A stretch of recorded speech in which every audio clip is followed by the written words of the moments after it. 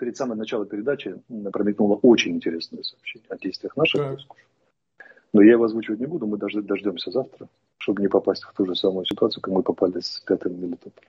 Вот если Да, это да, будем, за- но- за- завтра будет что-то интересно. Завтра будет что-то. Но это проверить можно и все такое, да? Ну, за, за сутки станет понятно. Да.